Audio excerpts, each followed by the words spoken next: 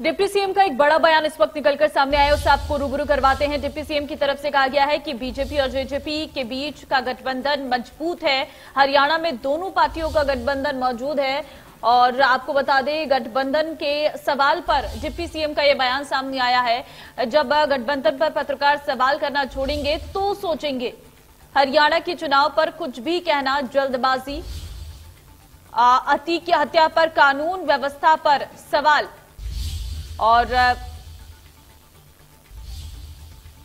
हरियाणा में दोनों पार्टियों का गठबंधन मज़बूत है। ये डिप्टी सीएम की तरफ़ से कहा गया है। गठबंधन के सवाल पर डिप्टी सीएम का ये बयान सामने आया, जिसमें उन्होंने कहा कि गठबंधन पर पत्रकार सवाल करना छोड़ेंगे तो सोचेंगे। हरियाणा के चुनाव पर कुछ भी कहना जल्दबाजी है।